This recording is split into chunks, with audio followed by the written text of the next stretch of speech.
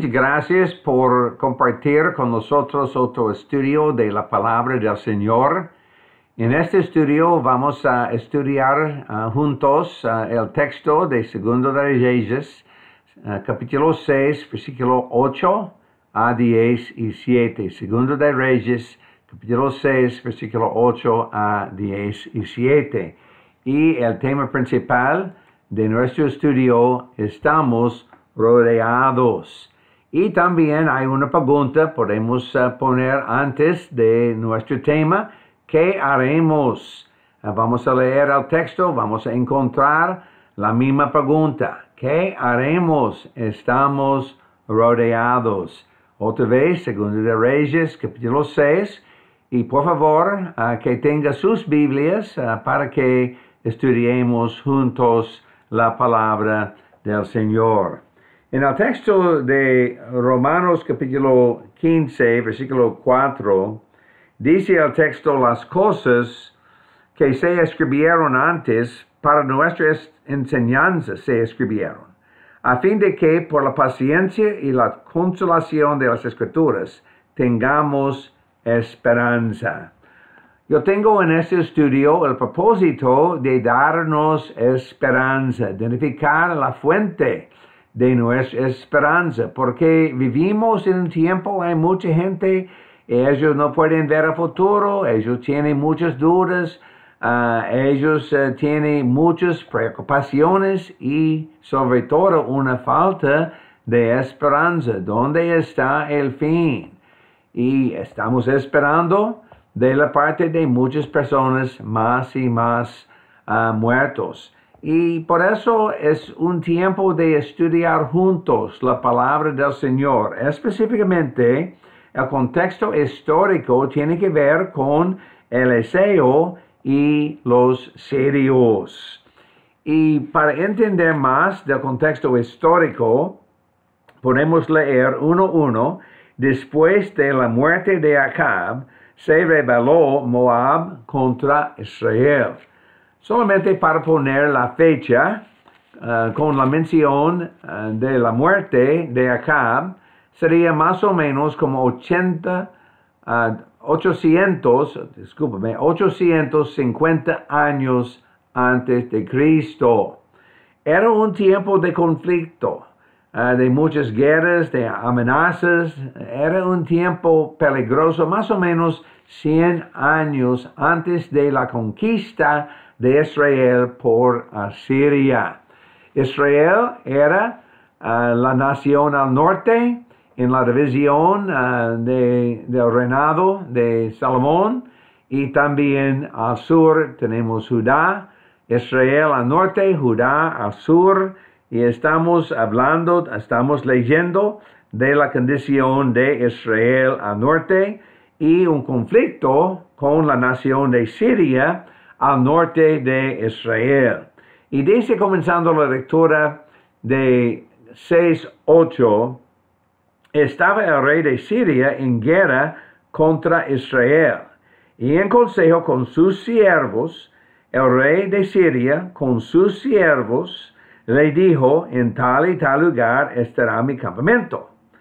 Entonces el varón de Dios se, se refiere a Eliseo, el varón de Dios envió a decir al rey de Israel, no pases por tal lugar, porque los sirios van hacia allá. De manera que el rey de Israel enviaba gente a aquel lugar que el varón de Dios le había dicho, así lo hizo una y otra vez con el fin de cuidarse. En medio de la guerra, el rey de Israel tenía una ventaja él sabía siempre, antes eh, del hecho, la ubicación del rey eh, de Siria. Y dice por eso, versículo 11, el corazón del rey de Siria se turbó por esto.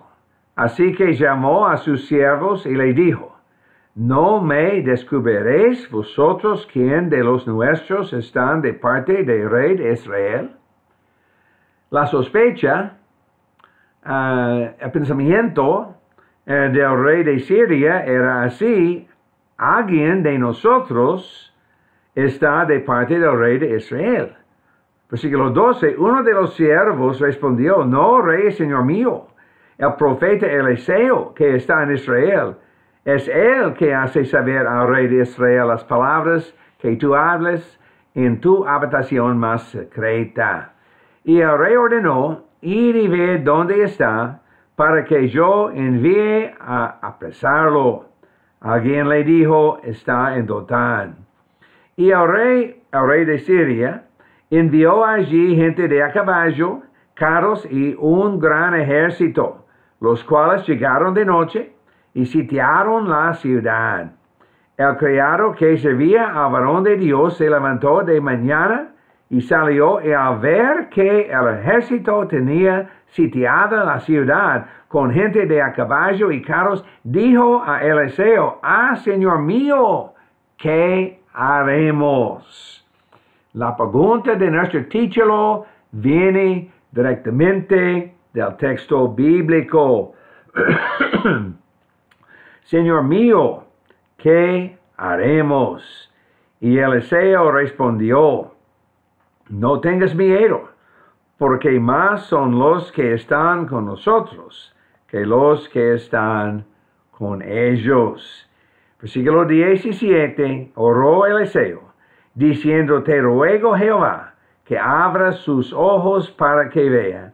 Jehová abrió entonces los ojos del criado del criado y eso vio que el monte estaba lleno de gente de a caballo y de carros de fuego alrededor de Eliseo.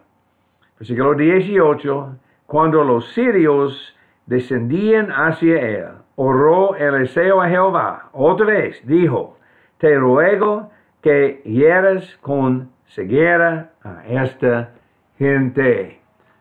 Y me gustaría brevemente notar la aplicación. El día de hoy, especialmente con la presencia del coronavirus, vivimos en un tiempo difícil. Vivimos rodeados por dificultades impredecibles. impredecibles. No um, podemos ver uh, la llegada uh, del virus y, no podemos ver el futuro.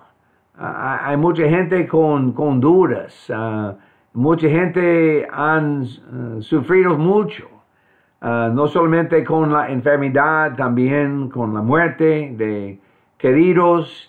Eh, vivimos rodeados por dificultades, pero no es un tiempo diferente y distinto del tiempo pasado, porque siempre en este mundo vivimos rodeados por dificultades. En el tiempo presente estamos experimentando aislamiento, duras, muchas personas muertas y sobre todo una falta de control. No podemos controlar el futuro, no podemos controlar um, el coronavirus. Y, y alrededor de nosotros, por cierto, podemos ver el enemigo.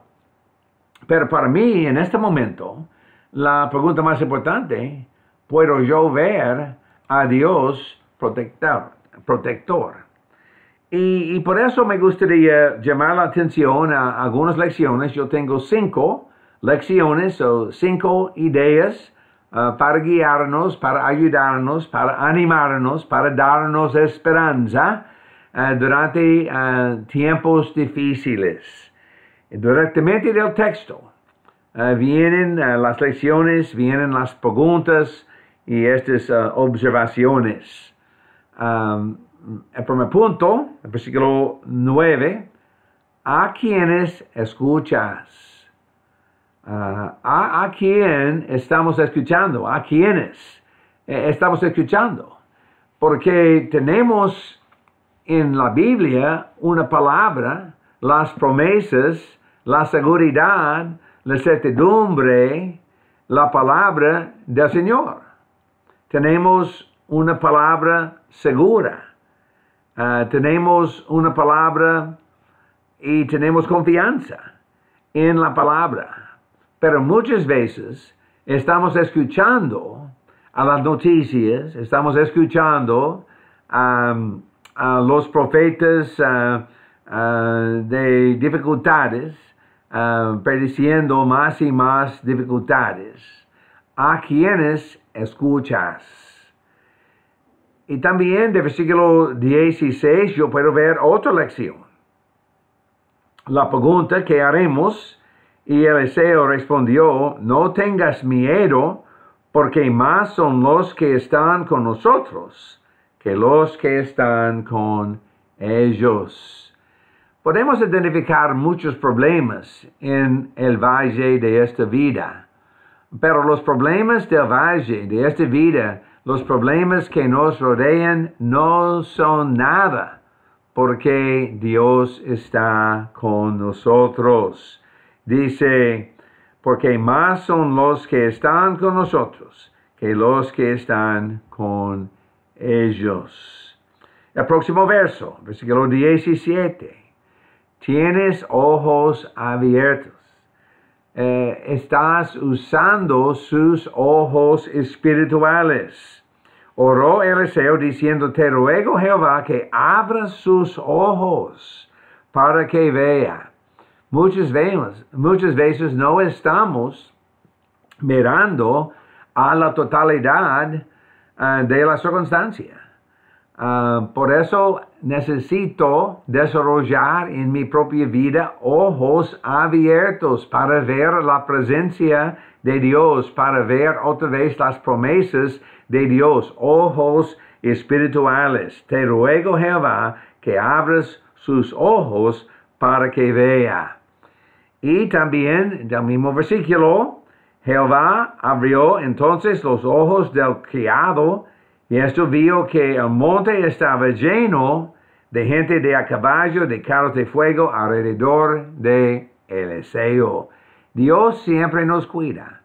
En todas las circunstancias de la vida tenemos alrededor de nosotros la presencia de nuestro Dios, un Dios de amor, de esperanza.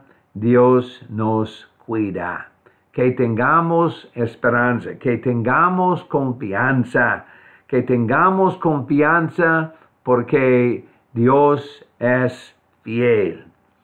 Y en la quinta lección estás incluyendo a Dios en sus planes, en sus pensamientos, por orar. Es el primer paso hacia la victoria. Dice dos veces, versículo 17, versículo 18, oró Eliseo, te ruego Jehová.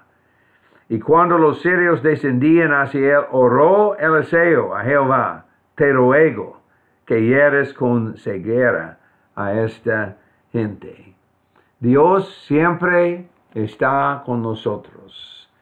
Y por eso yo creo en el texto de Segundo de Reyes, capítulo 6, yo puedo ver una fuente de esperanza. Yo voy a escuchar a Dios. Yo voy a leer más de la Biblia. Yo voy a tener confianza porque los problemas de esta vida son nada en comparación al poder de Dios quien está con nosotros. Estoy buscando ojos abiertos, ojos espirituales también siempre recordándome, Dios me cuida y orando más y más, porque yo quiero incluir a Dios en mi análisis, mis pensamientos en, en esta circunstancia. Hermanos y hermanos del Señor, que tengamos confianza, que tengamos esperanza, sí ¿Qué haremos? Estamos rodeados, pero sobre todo estamos rodeados por la protección y la presencia, la persona y el amor de Dios. Dios le bendiga ricamente en este tiempo. Espero que sea posible su presencia en otro estudio de la palabra pronto. Dios le bendiga.